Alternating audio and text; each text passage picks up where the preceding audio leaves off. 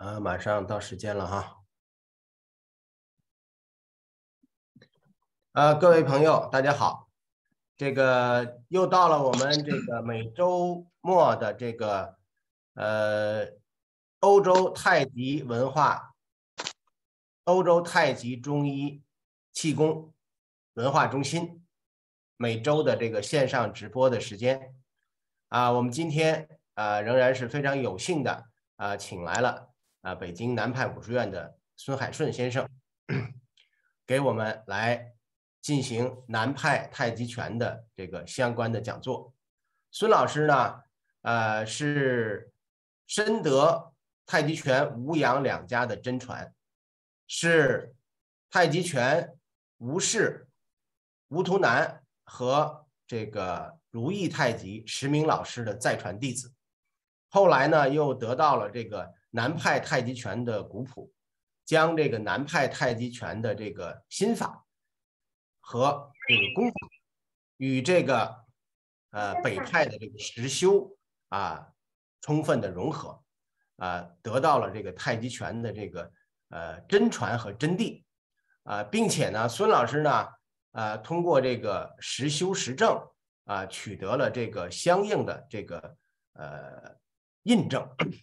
那么在这个太极拳领域里边，在十三步登天梯的这个体系里边啊。取得了相当的成就，而且呢，呃，我们最可贵的是孙老师呢，呃，有一个呃非常宽广的这个胸怀，这个心胸开阔，把我们太极拳门里边很多的这个不传的秘法啊，能够拿出来和我们在这个啊线上与大家共同的分享，啊，所以在我们这个线上平台上面啊，也得到了很多。啊，朋友的这种高度的这个认可，都说，哎呀，这个孙老师，这个非常感谢，这个能够呃把这么多的这种呃外面听不到的东西啊拿出来，包括我们在国内啊线上的活动也好，或者是我们在国内线下的这个呃培训班也好，也有很多全国各地十几个省市的这个太极拳爱好者啊来到滁州啊听孙老师的这种啊。讲课也好，或者是亲自的这种教授也好，啊，都非常的这个啊感慨啊，觉着有这个很多人说，哎呀，追了一辈子啊，有很多东西到今天才听到啊，非常的这种感激和感动啊，都为孙老师这种啊宽阔的胸襟感到非常的钦佩。好，那么我们呃下面有请啊孙老师给我们做今天的这个呃课程介绍。上次呢讲到了我们这个现在讲到用法就是太极十三式，我们上一个课呢讲了这个掤，今天呢啊来讲捋啊，下面有请孙老师，谢谢。好，谢谢赵老师，谢谢各位老师。今天呢很高兴，我们又有机会在咱们欧洲太极文化中心这样一个非常好的平台来一块分享。我们中华的文化瑰宝太极拳。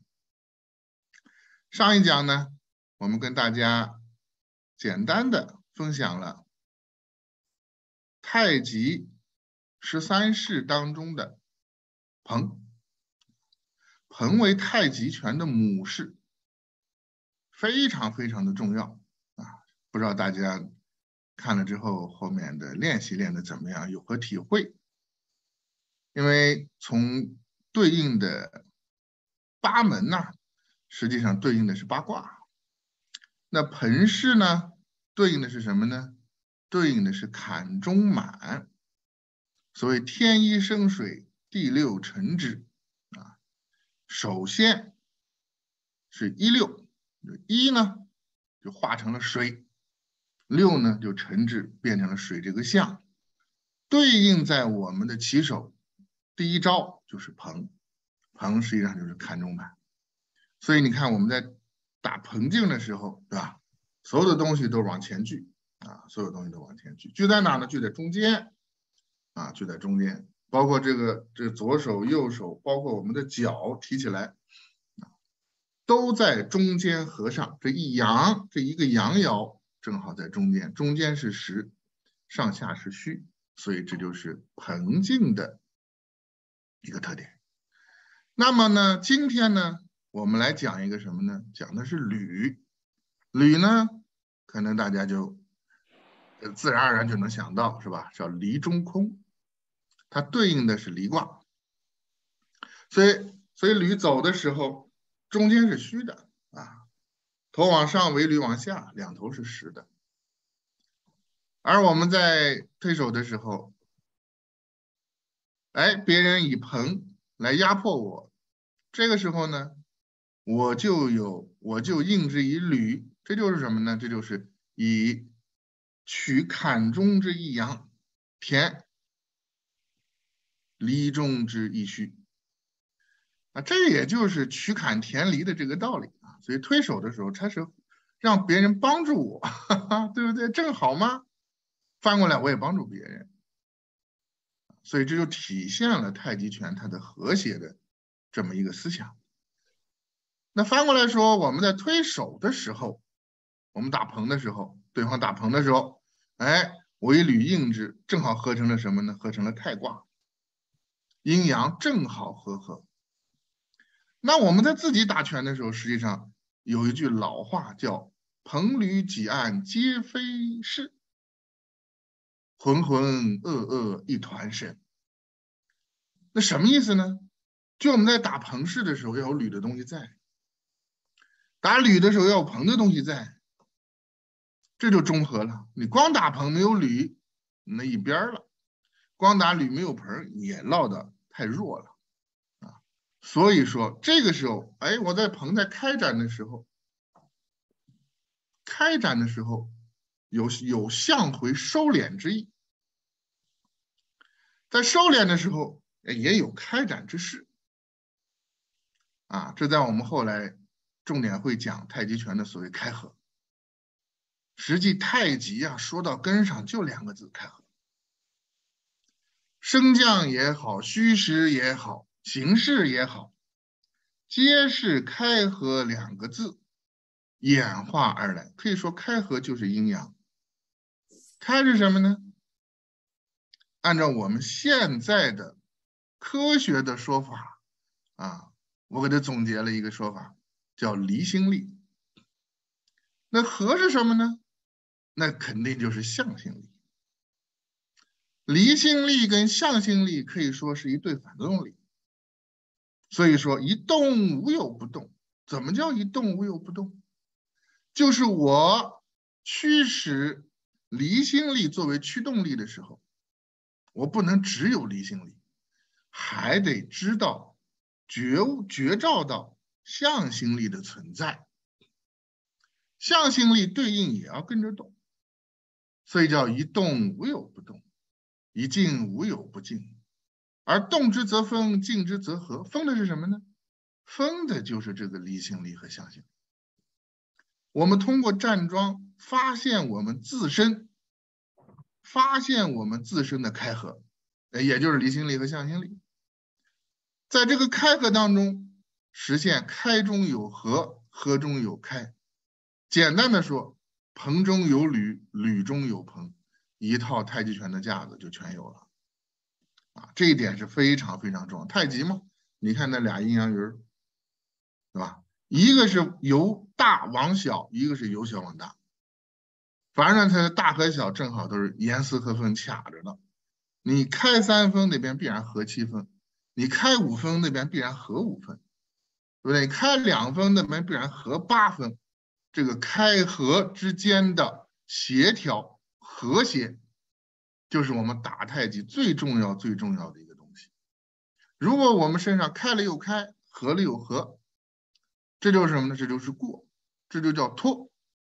如果我们开了三分，合了十分，这也叫脱；如果我们开了三分，合了四分，这就叫傲；或者说我们开了五分，合了八分，这也叫凸；我们开了三分，合了十二分，这就叫。这也叫凸，就是多出十的叫凸，少于十的就叫凹。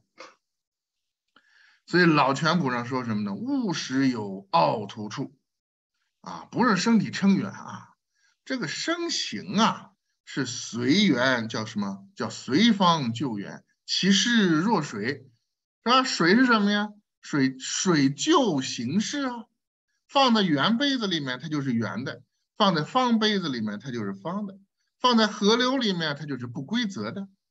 深湖则深之，浅湖则浅之。所以水就跟身形，我们的身形啊，练太极的时候就跟水一样，不要有任何的必然，不要有任何的随，到哪是哪，内劲儿到哪是哪。外头的东西到哪是哪，随取就生，无过不及。但是呢，我们里面的东西一定要什么呢？五阴五阳是妙手啊，就是开合运的开合剂，对吧？开合之间转换变化，全在彭吕二式。所以我们讲了半天，我们练太极十三式。彭吕挤按财列肘靠，前进后退左顾右盼中定，八个身法吧，五个步法。实际上，最重要的就是我们所谓的烹和吕，也就是砍和离。所以道家的修行，所谓水火既济。然后乾坤一气，那水火既济是什么呢？水火其实就是坎所以你看我们在这个太极当中，无处不体现这个八卦的这个韵味在啊。哎，彭定的时候叫什么？彭静如水覆舟行，这是啊，这是口诀吗？它是像水一样。所以说，你你走彭定的时候，它有个高低就高就低之势，哎，所以他就走出了个势。那吕镜是什么呢？吕镜就是火呀，离火。所以你看我们的心法如了眉，是不是啊？叫吕镜双指如了眉，双指哎就跟了眉毛似的，他就带着火。啊，我们当时老师傅不说嘛，你看这个鼻子，这个眉毛和这个眉毛。加着俩眼睛，正好是个倒写的火字，啊，倒写的火字，你看这样，这样，加俩眼珠子，是个倒写的火字，啊，南方丙丁火，啊，所以说，一摸眉毛，一摸对方的眉毛，从眉攒到眉梢，从眉梢到眉攒，对方的劲儿一下就泄了，啊，而且呢，它是往上走的。火吗？火炎上而水润下，所以这个时候由开合就带出了升降。水它是由上往下，火呢是由下往上，这就是一个升降。升降当中有开合，就变成了什么？螺旋上升和螺旋收敛。这就是太极拳所谓玄之又玄、众妙之门。那这两个旋儿怎么冲起来？它一个不是旋儿，它俩怎么往一块套呢？所谓乱环诀怎么往一块套呢？就得是什么？棚中有吕，吕中有棚，这比较难。啊，松露堂老先生讲的什么？或者说有人评价松露堂老先生什么？浑浑噩噩一团神，彭吕几案皆非是啊！你看，根本看不出来它是硼还是吕，还是几还是案。为什么他走的是一团气？这一团气，开之则为硼，中就开之中实则为硼，合之中虚则为吕，前滚为己，后滚为案。左上句子斜上句点为财，叫踩是什么呢？踩是井中井，裂是松又松，所以踩是乾卦，踩对应的是乾卦。井当中再紧，三连。连呢是松又松，松了之后再松，这是我们后面会讲，它属对应的是坤卦。所以，我们其实八门对应的是八式，八式呢对应的是八卦。其实我们平时研打太极的时候，就是在研磨周易啊，就是在研读周易啊。这个周易无非就是讲阴阳五行八卦之变化，而太极拳研究的呢，也是阴阳五行八卦之变化，它里面有非常非常深的联系。从外形到心法，到内境，到机势，实际上他们都有着一个非常有意思的联系。上一讲我们从四个方面跟大家分享了喷。第一呢是外形，也就是所谓的身法，整劲儿怎么做到？第二个呢是劲儿。劲儿啊，第三个是门儿，你的这个开门从哪开，这个劲儿从哪走，这个道是什么？最后是势。今天一会呢，我们也有给大家准备了一个小片儿，也通过这四个方面给大家分享一下吕。首先，吕的法是什么？它的身形要领是什么？第二段呢，铝的铝的门怎么开？啊，它这门是怎么开？劲儿怎么走？它的道从哪滑？那第三个呢，这铝劲儿怎么走？它门开了之后，它怎么走呢？最后一个铝的势是怎么产生？怎么运转？在什么机上动？我们后面的十三步都将跟大家按照这个方式来分析。也就是说，我们刚开始的时候练太极拳，可以按照八法来打，纯粹就走生法，这已经相当不错了。在生法练的不错的时候，我们就要揣摩内在的它八卦之间的深刻关系、互相变异的关系。这个时候，其实推手就出来了。推手是什么？推手从某种角度上讲。就跟文王占卜差不多啊，一感一应吗？所谓既然不动，感而遂通。对方用什么卦来感我，我就用什么卦来应他。应之的结果，儒家称之为中和，在我们周易里面称之为什么呀？太。所以什么？我占一级，对手占一级。这两极一合，形成太，所以太极太极也有这个意思。我坎是一极，他履啊或者他他乾呃他他他的这个这个离是一极，我用盆，他用履，这两个一个水一个是火呀，水火互相那是完全对立的，水火不容嘛。但是呢，我这个火中心是虚的。是阴，这个水呢，中心这一爻是阳的，是实。我以坎中之虚取，我以坎中之实啊去填离中之虚，我以离中之虚呢去取坎中之实。这个时候大家就完全和谐了，表面上现象上的对立。却实现了本质上的融合，这就是太极的智慧。所以，太极推手绝对不是斗争性的，绝对不是竞技性的，绝对不是对抗性的。但凡有一点对抗，称之为双重，而是完全的用我的所，这其实坎来说。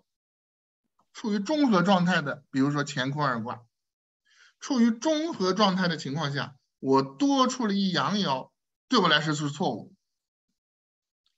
我用盆定打人家了，实际上就错了。但是对方呢，哎，他以另外一个错误，就是什么呀？就是离，用履一个离，离单独来说也是个错误，但是这两个错误碰在一起。我的错误去赶他，他以另外一个错误去应我，两极吗？哎，恰好合上了。这个就是太极的意义。所以我们在世间很多啊，别人去感应我们的时候，他可能有贪嗔痴慢疑，他可能有各种想法，他可能有各种目的，说白了是某种错误。但是如果没有好的结果，说明什么？说明我们没有应好啊。孟子讲反求诸己，但凡你来就有一卦，你有一卦，我就有一卦应你，就能应出个中和，就能应出个泰。但是呢，没有出现这个泰，没有出现这个中和，是谁错了呢？从某种角度上讲，是我们自己没有调整好自己的状态，没有应好。他来赶，我来应。我没有应好，所以导致有多余的东西出现。所以我们练习太极拳，实际上就培养一种什么反省的，或者叫反求诸己的这种思想。这也正是我中华文化最重要的思想，绝不怨天尤人。凡有不如意事，凡有不顺的事儿，凡有不好的事儿，绝不怨天尤人，而反求诸己，去回过头来检查自己，我哪里没有做好？只要我做的足够好，觉悟足够到，处在太极的状态，以应他的八卦之机。必然能严丝合缝，啊，所以我们不要求别人天生就善良，也不要求别人天生就是正确的。我们是什么呢？我们要不断的通过太极的修炼，提高自己的心性，在这个过程当中去感应别人的来言来龙也好，去脉也好，来言也好，去也好。它只要有印，我们就可以感知，然后达到一个最完美的结果。这就是中国的中道，这也是所谓的中庸啊。所以我们今天讲彭吕，后面讲几按财连肘靠，再往后可能会跟大家分享一些推手的东西。大家要知道，推手可不是为了拼力气，可不是为了顶牛。如果顶牛的话，两头牛永远胜过一个人。对不对？你跟你你再牛，你能跟牛去推吗？那牛比人先进吗？还是牛比人高级呢？人高级的在于他有道德，他有智慧。那这个道德智慧从哪来呢？通过太极练，通过推手来练习。而推手的这八门就是八卦，实际上他这个思想就在于这种中庸之道。好，这个大概的跟大家讲一下。然后呢，我们请赵老师把今天的这个教学视频跟大家分享一下。回头后面有什么问题，大家可以随便问。好，赵老师。好的，呃，现在请我们的这个呃助理把这个铝的这个视频给大家播放一下。大家好，我是孙海顺。大家好，我是张海直。啊，很高兴啊，我们今天又可以继续。给大家来演示南派双阳太极功法的十三式的捋。捋首先是捋法，怎么捋啊？知道怎么捋吗？捋法呀，两手往这一放，这俩食指从自己的眉梢想着撩自己的眉攒，就这么着，哎，鼻子尖的跟着走，跟着走。这叫，这叫捋法，非常简单。对方来了，捧你捧我，捧我我也捋。你看，这是捋法啊，就是捋法。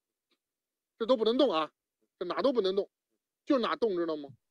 就是点这俩手，点他的这眉毛，像这个一千度的铁条子似的，铁条烧的，你看烧他眉毛，哎，眉毛给他烧了，抹他眉毛就行了，抹他眉毛，哎，你看，这叫捋法。捋法简单吧？啊，就是就是就是说白了啊，这个捋简单的是撩眉毛，其他呢，比如说的在这儿了，在这儿了，他推我了，推我了怎么办呢？看啊，这个手手，这个手就摸着立正就躲他，哎呦我操！哎，如俯立刃，一摸的是如俯立刃上啊上啊上，哎，不敢让他招着力。你为什么？你招着力，那拿破了。这俩手，比如这样的也有捋啊，这样捋的时候是这叫捋，你看这叫捋，这叫捋。你不能让他那个使上劲儿，他一使劲儿，你看这这这叫捋，你看这叫捋，哎，这叫捋，这就是捋法。捋法它的心法就叫什么？如俯立刃。一摸的时候是哟，就这个，来吧，来来来，我就捋你，哎，就一定要轻轻的摸着，千万不能使劲拽啊，不能使劲拽人家，这这这不叫捋啊，这不这不叫捋啊，这这不叫捋啊，这叫捋，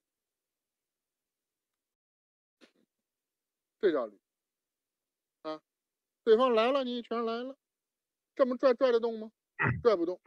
摸着像把刀似的，哎，你看，你看，他不使劲儿，这叫捋法。捋门是什么呢？捋门叫接手半边空口诀啊。开门很重要，接手半边空。比如说我们这一搭手，这一搭手见完点了之后，他这个胳膊啊，这个胳膊啊，有个耻骨，有个桡骨。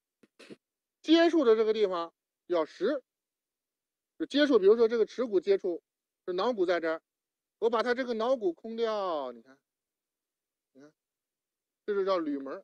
为什么铝门呢？它就它就形成一个视差，你看空掉，你看，它就形成一个视差，视差它就站，它就就自然，它一使劲儿，你使劲儿吧，你使劲儿，你你使劲儿，它就往那个往那个开门的地方走，这个地方。这叫接手半边坑，所以一接手点空半拉，你看这就只带铝了，这就带铝了。不带铝什么呢？这就是这个，就这个，这个，这就是走点，点走到这儿了。带捋什么呢？一点围这一块全部咔嚓给它封半拉，你看，这就是捋门，这是小捋门。还有更小的捋门，俩手俩手握手了，握手了，以手心，以手心啊为一半。以手心为一半，这个指这这俩指头，这俩指头和这俩指头，一个二一个三，啊，二为阴哎，三为阳，是吧？这一二一个三，握上之后，是吧？空阳也行，空阴也行，哎，空这个阳大拇指呢，空空空空下来了，这是半拉也行，那拧握空三也行，那空三也行，空三是这样啊，明白吗？一定要是要么空这俩，要么空这俩。你比如说光空大拇指行不行？光空大拇指行不行？你看，哎，这能使上劲，你看到没？我是空的大拇指了，它能使上劲。再把二拇指空了，你看，哎，那它它就完，它就完，它就难受，是吧？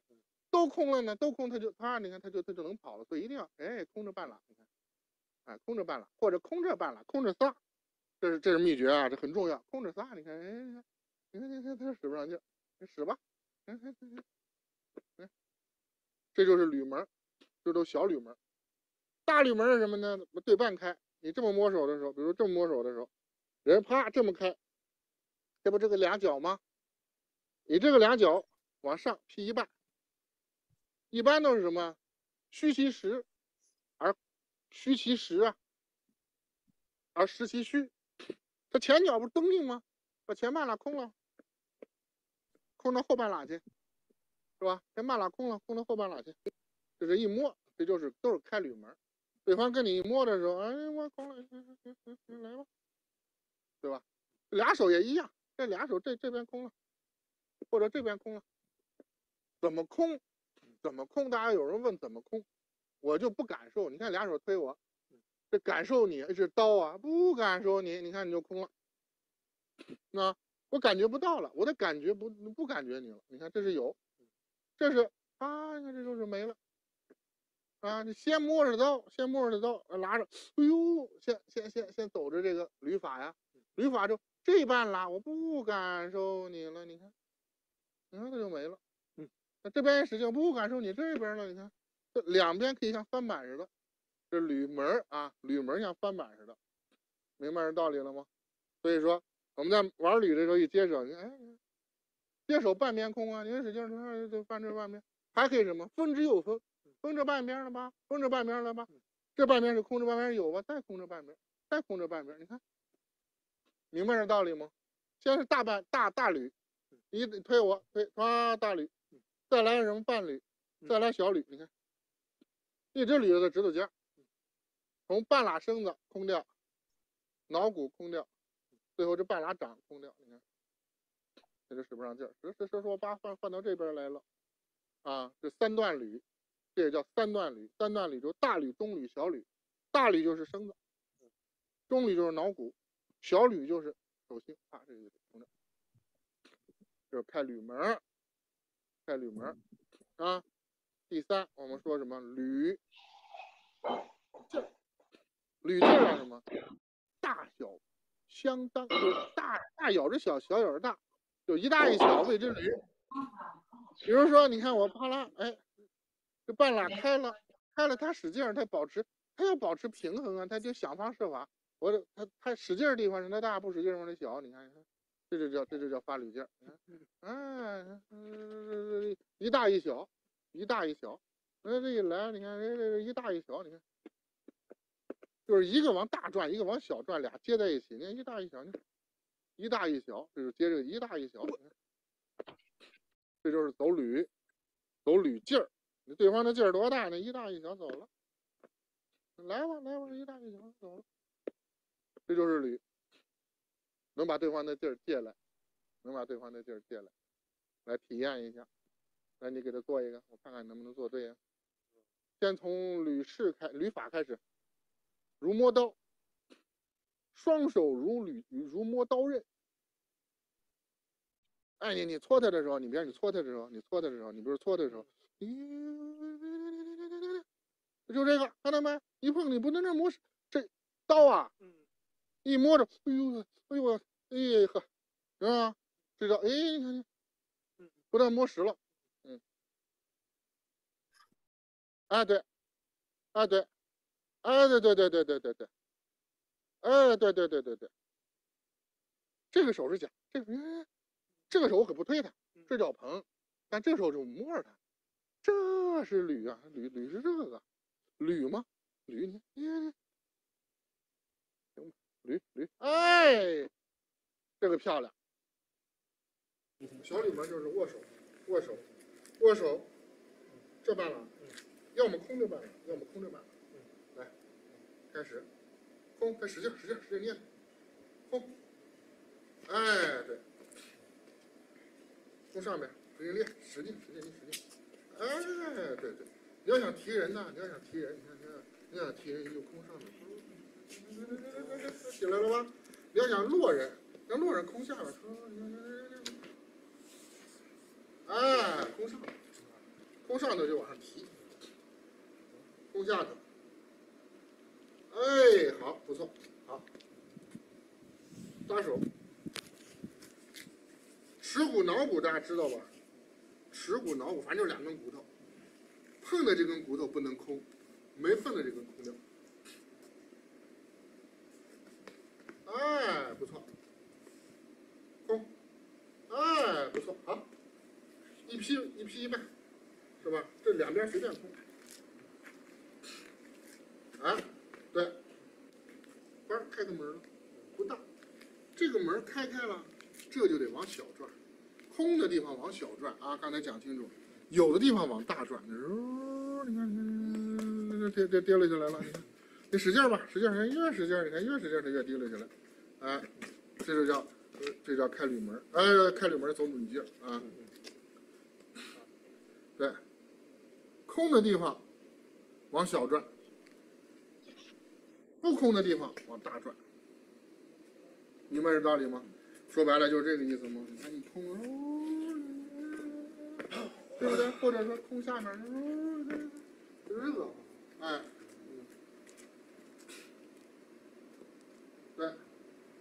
对对对对，转转转，一个往大一个往小，不是提，不是提，不是提，不是这样提，这是你看先空掉，空掉这地方，这是往小转，还没往大转呢，这个再加上揉往大转。然后大和小两个套一起，一大一小，揉，你看，你看，使劲儿，使劲儿吧，可能使上劲儿才怪呢，啊，哎，对了，对了，对了，对了，对了，对了，对了，非常漂亮，非常漂亮啊！一一个道理啊，接接地接地啊，接上，哎，空调半拉越大，油往无处转，说白了，嗯，先油往无处对，就是有的地方往没的地方走，有大无小嘛，哎，对对，不错，有大无小，有要散，无要聚。对吧？你有的地方，你借着这根骨头，哎，对对对对，非常好，你这搭上了吗？搭上吗？这半拉空了吗？这半拉有吗？这半拉有，往空上这这不就完了吗？是不是？来，再继续。对，有大，哎，对对对对对对对对对对了对了，这叫捋劲，最后走什么呢？最后走什么呢？捋势。这捋势怎么捋？对吧？这个劲儿，横。本来盆珠子不在这儿吗？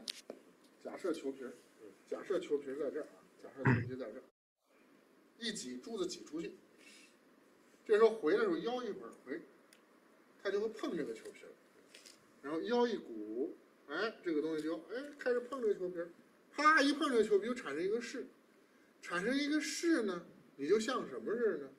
像什么似的？抱小孩似的，把这个势啊，哎，给它。就是摸着这个势啊，嘿，你到到这儿来来，哎，把这势摸到哪儿呢？摸到后边那个角去，这叫捋。哎，当撞上了，摸到后边那个角，这就叫捋。这也行，啊，哎，这也叫捋。啊，左捋右捋都一样，一定是回来撞上一下，明白这道理吗？回来撞上一下，梆，形成这个势。摸着这个势，往左边或者往右边，让他打斜线，走斜线，就说白了，对方打我的时候，回来吧。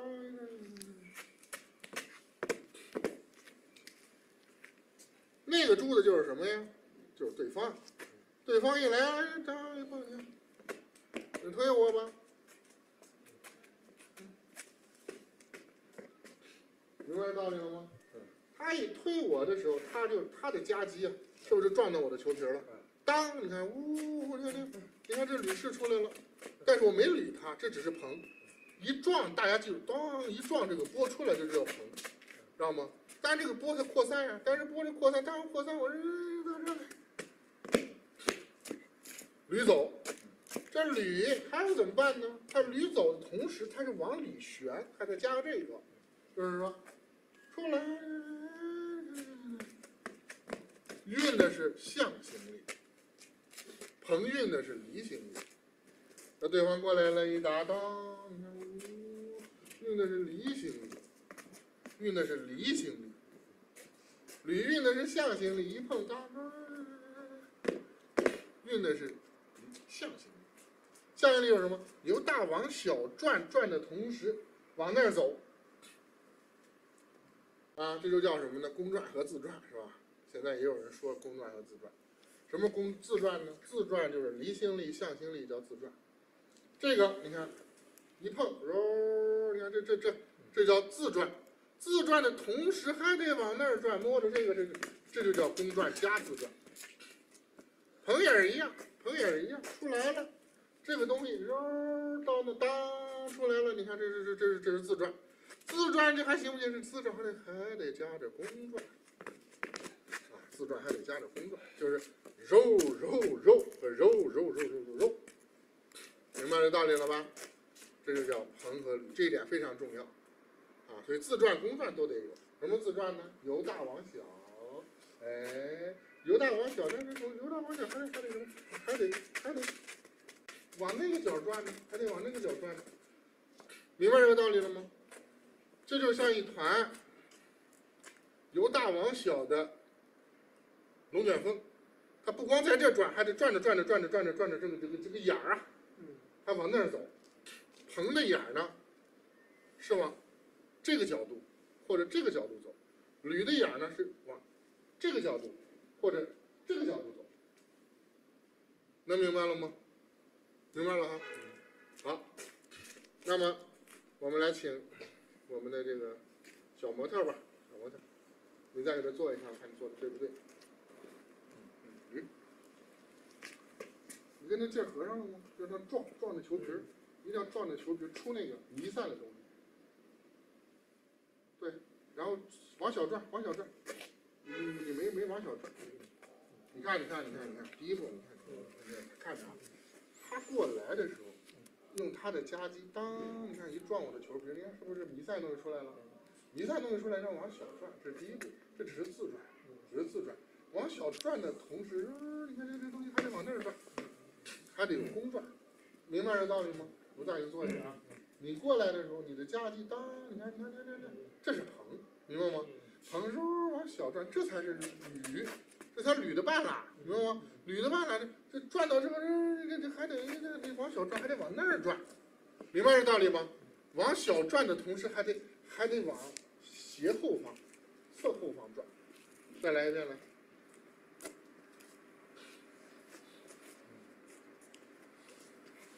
撞，对他来的时候就用这个地方，你给他散开了，说白了，你用球皮撞他也行，他们劲儿不就化了吗？看，他到这儿了，圣心都给他，用球皮儿梆，你看，你看，他是不是就化了？用球皮一碰他，用这夹击使劲儿使劲儿，跟正三似的使，他那么大劲儿，用球皮一碰那夹击，当，你看这，就把它劲儿化了。化完了之后，用这个弥散的东西往小了转，往小了转，再往再再往你们这个位置或者你们这个位置转，明白吗？好，用球皮转，准备，哎，对转往小了转，然后公转，哎，这个漂亮，这就对了，啊，再来一遍，啊，小平蹦，转，公转。好，不错，好，好，好，那么今天啊，我们捋给大家简单的介绍，简单介绍一下四种，我们再复习一下捋法，捋法是什么呀？捋法如捋，或者叫什么如摸这个刀刃儿，对不对？心中有恐惧，你比如说我现在这么捋你，就这么捋你，我碰你的时候，这也是捋，你看。嗯，这也是捋，这也是捋，就像磨刀刃似的。哎，这这它它它的锋利啊，不是钝刀的，你使那么大劲儿。这就是捋法啊，是吧？你给我坐下来。摸害怕，破了手，哎，对了对了，这个对了啊，对了，捋法。第二个什么呢？铝门空半边啊。是吧？空半边一搭手，你看，咦，空半边，这一搭，咦，空半边是吧？这个空半边，嗯反正一搭手，你，哎哎，你看空半边是吧？这都是上啊，这假是假性硬的是吧？哎，对对空半边叫铝门儿，铝门儿空半边儿，铝镜呢，一大一小，一稀一土，对吧？空半边儿一稀一土，你看，这么着是吧？这么着，它空半边儿这边有往没着土，哎。这这这叫捋劲儿，劲儿。这捋法什么的？这东西回来了，一撞你夹击，当，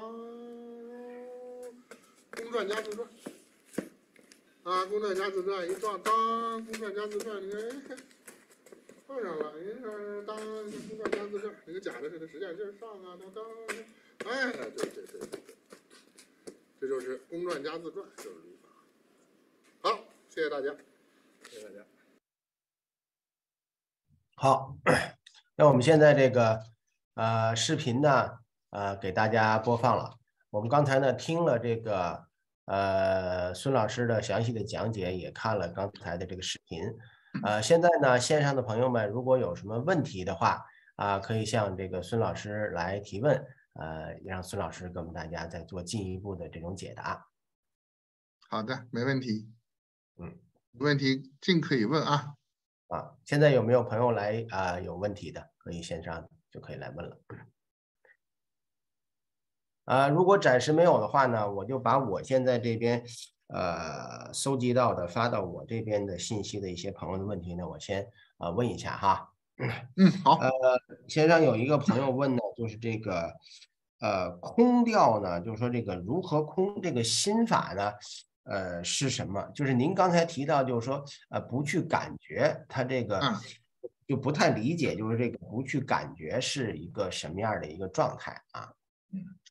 呃，有个练法，有个练法，大家呢弄一点儿，比如说是线啊，或者说是一些有弹性的东西啊，橡皮筋啊，但不要太硬啊，不要太韧，就是这这你拉拉拉拉到一定砰，哎呦，它一断，你心里嗯一愣神儿，或者说什么呢？你可以回忆一下自己有没有过踩楼梯的时候，一脚踩空，哎呀，心里面那个时候什么都不想了，或者坐电梯、坐飞机失重的时候，哎，就那种状态。实际上，那个一下我们称之为心中一空，也称之为心中一定啊。实际上，最好的办法，实际上我以前练的时候啊，我也找不到这个空的感觉，嗯，不好找。所以我们老师呢，就让我们干什么呢？就拿了一个，当然那个那个，我中国这边有种挂面，硬的，就开始掰扒掰断扒扒扒，一节一节掰，就掰。最后把那挂面掰成小段儿，然后熬那面就变成面糊子吃。每天就一点点掰，就体验那个嘚儿一断，你心中嗯嗯，最后由这个小可能只有零点零一秒，慢慢慢慢越练越大，越练越大，越练越大。最后你可以控制这个空，这个空可以待在这个空中待多长时间呢？可能待五秒、十秒，乃至一分钟、两分钟、三分钟、十分钟，这个东西其实通过打拳慢慢就能练出来。因为我们以后要开始教拳的时候，大家知道，太极叫定式。什么叫中定？也就是中空。一个式子打完了之后，一定要胸中一定。这一定的时候，你就会觉得脚下一飘，啊，在这个时候你的功夫大小就出来了。它能飘十分钟，那功力太大了；能飘一分钟也可以，好多只是闪那么一下。你看我们坐飞机或者坐电梯，突然失重的时候，哎，你脑子就一空，就那一秒，那个时候其实基本上处在一种失重状态。但是呢，我们立马就调整重心，立马就站实了，这就是我们下意识，这是后天意识。而我们练太极就是要把这个后天意识给练转过来，在空的时候，哎，保持这个空的状态，时间越长越好。所以在这一定的时候，当年吴老说，起码要定六个呼吸，起码要定六个呼吸或者四个呼吸，一一点一点往上加。这个呼吸就是毛孔的一个开合，不是这个呼吸啊，是毛孔一个吐纳。这六个吐纳基本上应该就是两分钟。或者一分半钟，就是啪，比如说一个 揽雀尾打完了之后，啊，就定在这儿，一定，一般情况就得定一两分钟。这个时候，什么是空，什么是有，你就清清楚楚的掌握了。所以打拳的时候，这个十三式其实到最后最重要的是中定，最基础的是彭捋。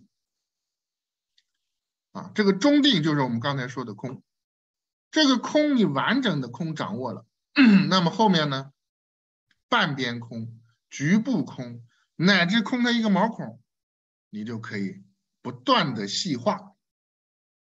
而基础呢，就在于你心中的那点觉悟。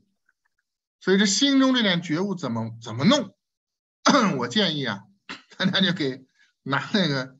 拿那个小东西，就是叭叭叭掰，或者拿那个皮筋去拽，啪，啪，啪，也可以什么呢？后来慢慢慢慢什么呢？就是我们这个手啊，我们后来在练接手的时候，后来在当然这也是一个方法，拿小气球握在手里，你不有感觉吗？这时候拿针一扎，啪，这个气球砰一没了一下，你手突然间什么都没有了，这手上感觉什么都没有了。再拿气球有感觉，哎，你慢慢摩搓这个气球，摩搓这个气球，最好是什么呢？你把这个这个这个针啊放在桌子上，你摩搓这个气球，你就下意识摩，你不去主动去扎，让别人，或者说你闭着眼睛啊，让别人扎的时候你不知道是最好的，就是哎人叭一扎，砰，哎没了，就这一下，你去体验这手上有感觉到没感觉的转换和变化，这是非常重要的啊，这这也是是真正的东西啊，这有无之间的转化是太极非常非常重要的。这王王老爷子，其实我第一次见王老爷子，王老爷给我试，是这个有无啊，就是手心、手背、手背、手心，想手心，不想手心，想手背，不想手背，由手心到手背，由手背到手心，哇，那力量不可思议啊！他就可以弄得那么细啊，所以说都这么练出来。嗯，主持人，好好的，呃，非常感谢这个孙老师啊，给我们这个指出了非常这个具体实操性的这个练习的方法啊，这个我们大家可以就按照孙老师刚才给我们的几个指示啊，看大家怎么方便，然后去进行练习。啊，下面有一个问题是网上有一个叫 Honor 的一个我们的朋友，呃，提到孙老师好，感谢您的精彩讲解，请问孙老师，您刚才说的碰出来的波是什么？嗯，这一讲呢，如果说呃方便的话，可以看看我们前两讲叫得机得势，得机得势和上一讲也可以，彭静也可以，都对这个进行了一个描述。因为太极阴阳之母，那么我们在通过站桩的时候，把自己的自身的阴和阳找到。并且呢，单独给它提纯，就是比如说阴是我们按照中国单丁的说法，是吧？铅和拱，乾和拱呢，我们单独的给它提纯，提纯出来的这个阴中之阳和阳中之阴，这个真阴真阳这两个东西往一块碰的时候，我们给它做了一个比喻，因为一个是。一个是什么呢？外实而中空，就像那个我们说佛祖手上的那个钵，也像寺庙里面挂的那个钟，啊，也像什么呢？也像这个，呃，这个道士手上拿的那个铃铛的外面的壳，啊，还有一个是内实而外虚，就像一个小锤子似的，或者像那个敲钟的那个。敲钟的那个、那个、那个、那个棒子似的？或者说那个像铃铛里面的那个小小锤儿，它是内实而外虚，一个是外实而内虚。你看像不像坎离两卦？离中空就是那个中，坎中满就是那一阳，就是那小锤儿。这两个一合，当就是。取坎中满之一阳，填离中空之一虚，这样的两个一合，它出来的这么一个所谓的一个乾卦，一个坤卦，就会出现这么一个我们称之为“当”撞出来的这个音。我们要观这个音，去发现、感受这个音。这个音是什么呢？声音啊，这个声音啊，就撞出的这个钟声啊、铃声啊，或者这个钹声啊。这就是我们所谓的波，而这个波就是阴阳之母，就是太极所谓的势。太极十三式既不是劲儿，也不是气，而是劲儿提纯了和气提纯了之后，两个合出来的这个波，或者叫这个阴，这就叫阴阳之母，动静之机。所以太极。不是，你看太极讲的不是十三十三劲儿，也不讲十三气，他讲十三式。而这个势呢，我们老谱的势都是提手旁，就那个势力的势，不是形式的事，不是姿势的事。我们现在改成姿势的事，实际上是把太极拳整个的境界，是吧？普及化了。咱不能说别的，只能说它是属于科普啊，普及化了，不属于专业研究啊，不属于专业研究。当然科普的功德也很大，但是科普到一定份儿上，我们要往上走的时候，啊，就要由这个姿势转换成内在的势力的势，也就一种势能，就是说我们物理学上可以理解成一种势能，啊，或者叫动能都可以。所以这个东西我们要通过我们的练习，在动静之机，在动和动转化成静，静转化成动的这个转关之处，发现这个势，并且运用这个势，运用这个势来推动自己打拳，推动自己的身体，叫足之导之手之舞之，哎，这就是所谓的太极十三式。啊，好，好的啊，呃，非常感谢孙老师的这种讲解哈，呃，这个呢可能是需要我们啊把前面那个讲解的那两讲，一个是这个有无，一个是得机得势，然后去进行这个反复的练习。那在这个练习的过程当中，通过就是说这个有无和得机得势的这个呃练习，在你身上找到就是说这个。呃，空和有的这个状态的时候，可能就更能体会这一点了。对，那么就是说，呃，我们再看下面新的问题哈。啊，这位朋友，好的，没问题，谢谢啊。然后，呃，线上还有什么其他的朋友有什么问题啊？也可以现在啊来向孙老师啊求教啊。如果暂时没有的话呢，那我还是把我现在手里边搜集到的问题的话，再向孙老师给转达一下。呃，还有一个学员问呢，就是呃一半空一半有的这个心法怎么能够同时来做到啊？呃，一半空就是不管它嘛，说白了只管它一半，不就是空一半有一半？对吧？空它就是不管它，有就是管它，就是感受它，不是感受它一半的空，再感受它一半的有，这就双重了。我只看你一半，你这个人到我面前是个整人，但是在我这，我只感觉就是听劲儿，这叫听劲儿。我只听你一半，那半没有，我听不着，不听。哎，我只听你一半，说白了，这个时候就是形成了什么呢？哎，形成了我支撑你一半，我另一半不支撑。你自己形你自己就形成了个不平衡，这样的话他就得去找平衡，这一找平衡就把他的这个势给斗出来了，一斗出来我们就可以借力打力啊，就可以借这个力啊，所以说空一半有一半就是这个，这叫我们老先生啊的口诀嘛，叫接手半边空，就这个意思，其实就空半边就行了，一空半边，它另外的半拉。必然去往空的半拉走，这就是借力打力。我不用使力，为什么？你十个力来了，我给你空掉五个，那五个力一下就失去，失去了依仗，失去了凭证，它梆一下就得往那个地方走，就失重了。说白了，啊，这一种技巧。好的，这个刚才孙老师呢也解释了，实际上就是说我们把这个。你能够感受到的那个全体的时候，有一部分不去感受啊，这个大家也是可以通过练习来在自己的身上能够就是说来体会这个东西。呃，那现在有一个网上叫王世成的朋友问，呃，请问那个公转具体是什么？啊，就是刚才还是接着前面那个朋友说的那个是，呃，或者说。阴阳合出来那个势，这个势是什么呢？就是说，别人在跟我搭手的时候，我是有一个外圈。这时候要讲到，就是以后推手会详细讲啊。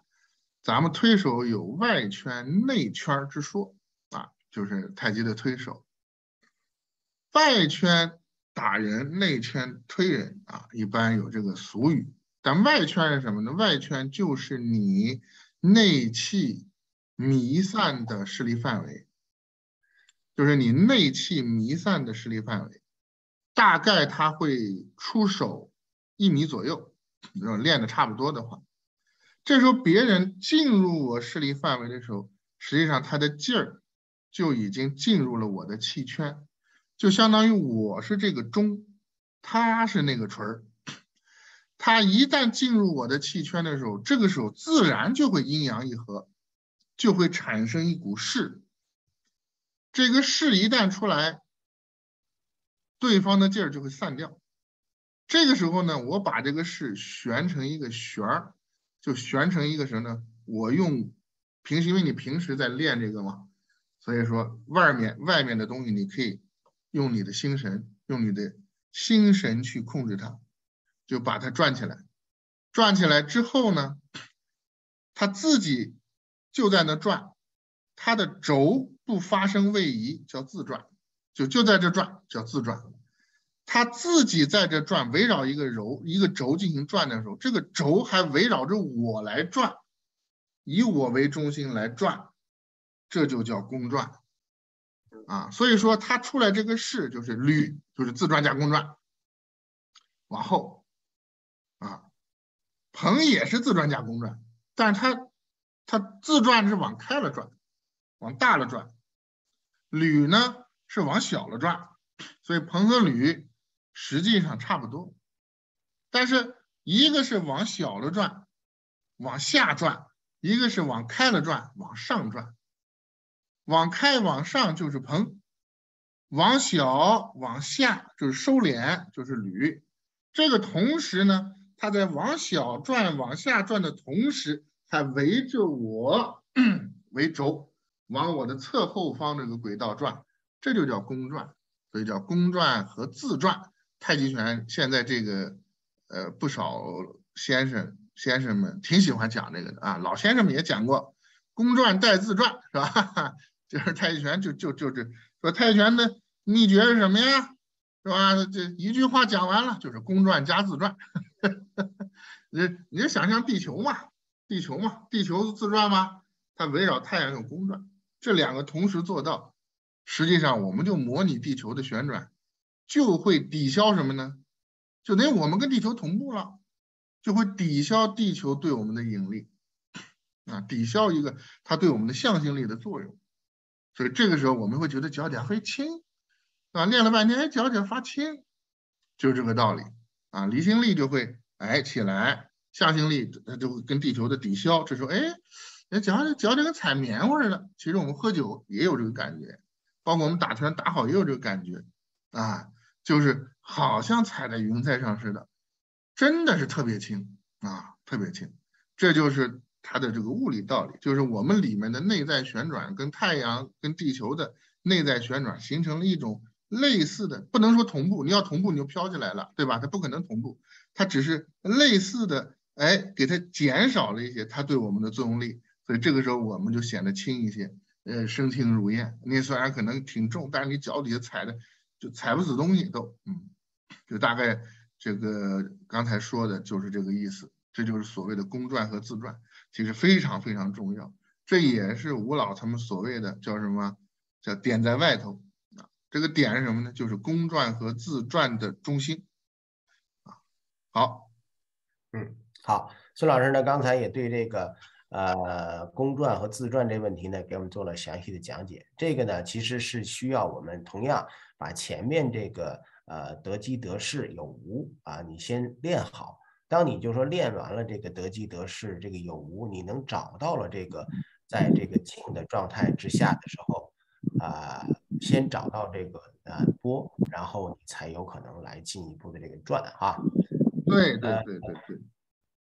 呃，那么刚才那个 owner 呢，他进一步提了一个问题啊，还有个问题，您说的横履同时，这和之前听到的都不一样，升和降怎么能同时呢？啊这个问题啊，呃，这个啊，建议啊，所谓上善若水，水给于道。太极拳呢，其实有很多东西，它是模仿水的智慧。你看孙禄堂老先生讲“彭吕几案皆非是，浑浑噩噩一团神”。它首先是一团呢，那么这个时候我们呢拿个水杯，拿个水杯装满水，你弄筷子那搅，把它搅成一个水漩涡，你就会发现这个水漩涡里面是既有往里聚的，往下。往就是我们说的履，往里聚的往下走的这么一个什么呢？和而降的这么一个力量，同时它有一个往外散的、往上升的、往外散的、往上升。如果没有水杯，它会它会它会喷出去的。往上升的这个什么呢？升而开的力量。所以说，在一个水漩涡当中，升降开合同时具备。我们也可以看这龙卷风，是吧？说太极讲把这条龙找出来，就是类似龙卷风，实际上就是龙卷风。它这东西旋，天上的东西下来，地上的东西上去，最后形成这个龙卷风，它也是有上下开合。你细观察，所以说太极到最后就是什么？圆转如意，就是出这个旋儿。这个旋儿旋出来了，叫玄之又玄，众妙之门。只要这个我们所谓的这个势出来之后，怎么用？其实内家拳都是阴阳和合出这个势，对吧？形意拳是什么呢？是直来直去，像炮一样。形意拳啊是直来直去啊。所以它那个形意拳的东西，它这个势出来了之后，是一紧啪一松，一紧啪一松，是这样，如拉弓放箭。八卦呢？八卦是在外头之间的来回转。啊，八卦是在外头转，只有太极呢，它是在像个龙卷风一样。八卦是有公转，没有自转。你看它是围着这个轴，围着这个轴来回转，但太极呢是既有公转又有自转，所以它最后就形成了什么呢？形成了一个像龙卷风似的，它在走，但是这里面的这个轴啊，它还有开合升降，所以。我们第一步把自己的势得到，叫得机得势。得到这个势，得到这个机之后，就动静之机啊。得到了这个动静之机，得到了这个势之后，把它什么呢？悬起来，悬起来。只要这个势悬起来，悬成一股龙卷风，开合升降全在里头。所以讲，彭吕几案皆非是。为什么？彭吕几案才列肘靠，就是对这股玄之又玄的这个东西的分析，说往前是什么，往后是什么，四正是什么，四欲是什么，它其实作为一个大旋，它同时存在。真正正确的就是彭吕几案皆非死，而我们真要打出一个劲儿，实际上就错了。所以其实最后就是什么？救出这个混沌之气，或者叫混元之气。所以太极有一个过程叫混元，是第七步，对吧？第七步就是浑元，把它浑出来。浑元对不对呢？也对。但再往上浑元的的精神性，我们说不神之神，无意之意，最后出这个心性的东西。再往上叫浑浑噩噩，就是这个浑元。最后再往上一团，把它归到一是什么？神。哎，太极到最后就归到神上去。这个神什么？神就是心性，就是我们的觉知。太极也叫知觉运动啊，所以到最后就是一片觉知，就是一片神心。太极拳也讲生而明之，所以到最后气也没有了，劲儿也没有了。浑元也没有了，全部转化成了生而明之的觉知啊，这就是太极拳。好，嗯，好的，呃，刚才孙老师呢，呃，也对这个问题给我们进行了详细的讲解哈，可能线上也有很多的朋友，这个和我们有共同的一种感受，都是很多这个可以叫闻所未闻吧，一些个这个。呃，以前那个没有听到的东西，所以在这里面呢，我们也是非常感谢孙老师给我们做这么详细、详细的这个讲解，并且把这个很多不传的东西能够讲出来哈啊，非常感谢。呃，后面有一个叫。Administrator 的这个朋友啊，他谈谈了一个自己的一个感觉，就是但是不是问题。他说感觉太极拳调动了暗能量，啊，这个不知道这个说法它是一个什么？哎，这个这个，他讲的还是很正确的。嗯太极啊，咱们老先生或者老老老老的说法叫什么？摸鱼。摸鱼呀、我们一般都理解成摸鱼儿啊，就是说水里面摸那个鱼呀、实际上，真正的摸鱼是什么呢？是多余的余，剩余的余。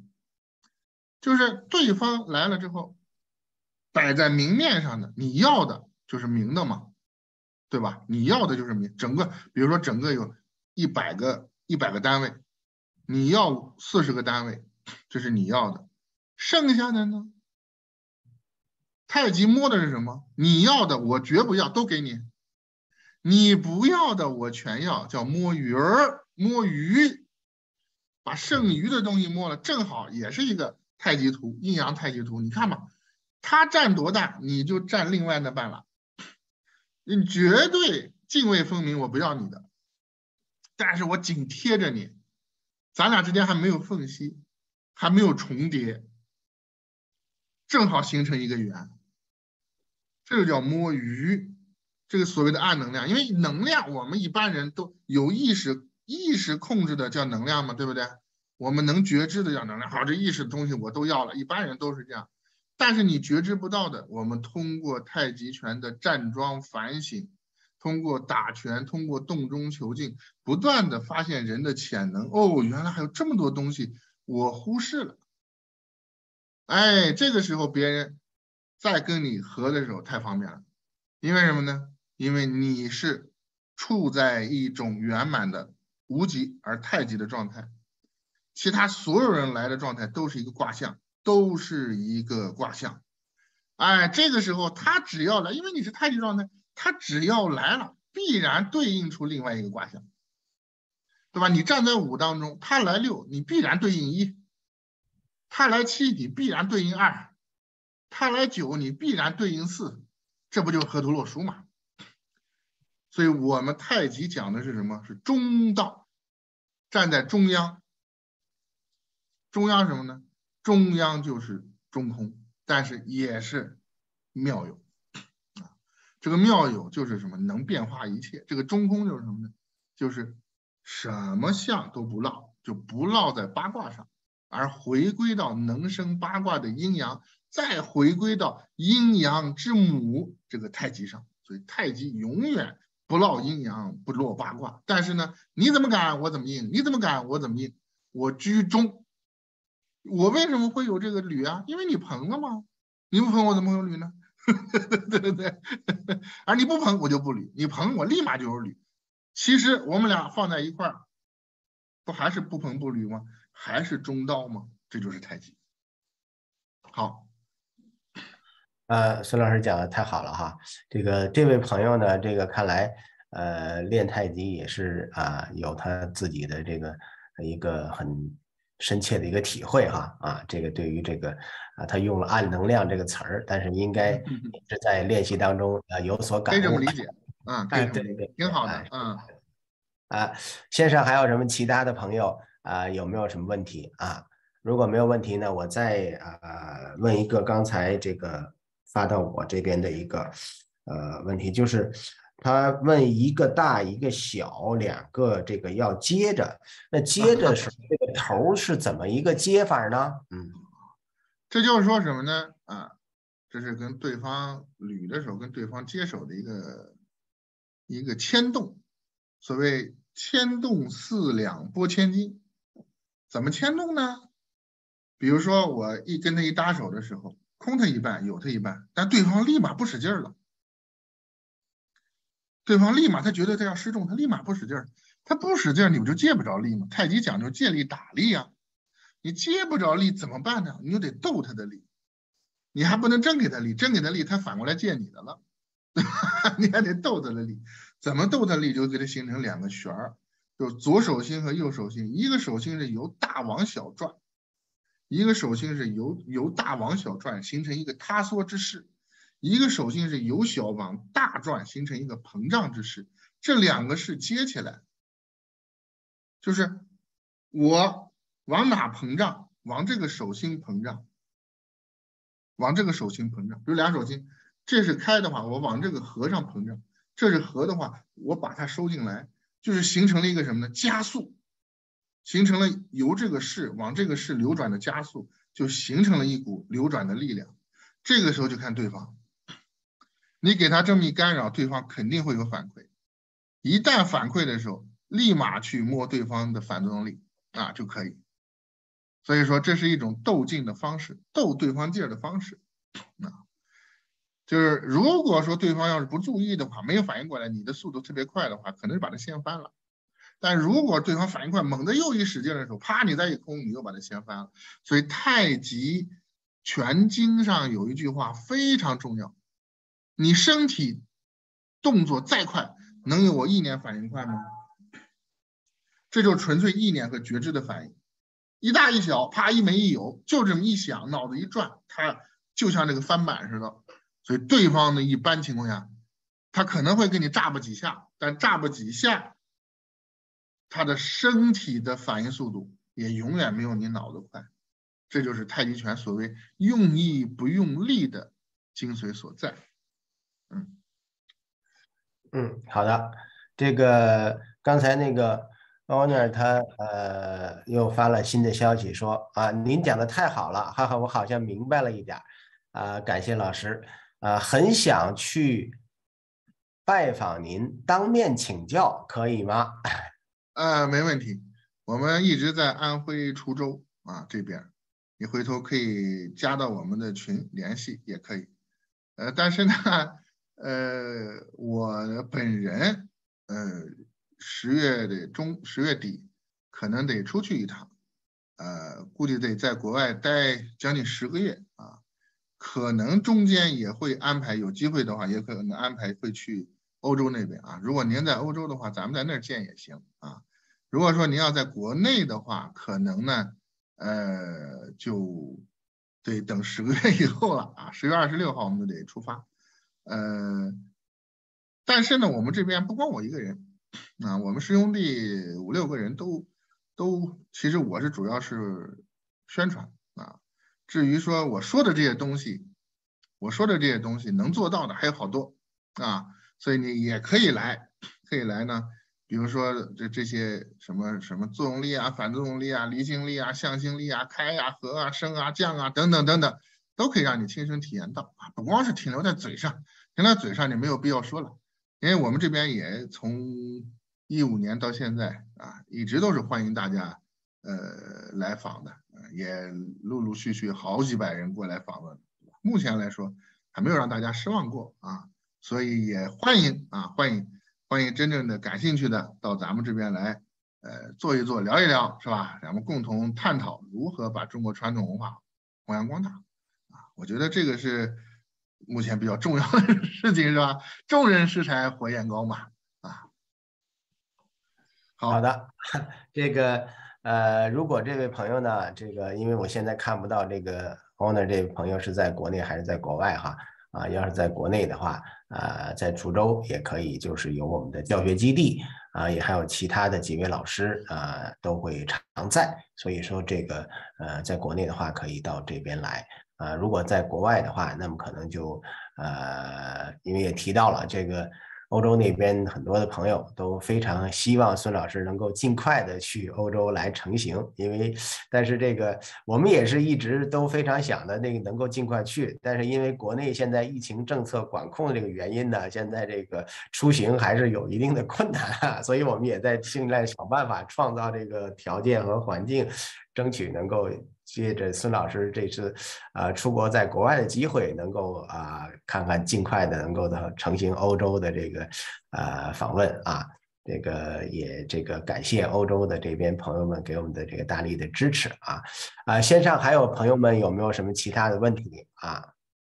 啊，如果没有问题的话呢，呃，因为我们今天这个直播又已经到了这个啊十八点二十，又超时了这个二十多分钟了啊。我们每次孙老师的课程呢，这个大家都非常这个呃积极踊跃的，有很多的问题来问哈，每一次都会超时啊。这个呃，线上还有什么其他的朋友有没有什么问题啊？如果没有什么呃新的问题的话，那么我们今天的直播呢就暂时到此啊。好，好。那现在看来线上没有什么新的这个问题再提问了。那非常感谢啊，孙老师今天好，谢谢张老师。哎，这个今天给我们谢谢各位老师。还是的这个 啊，这个好，我下线了啊。谢谢大家，好好谢谢谢谢，好再见啊，再见，再见再见。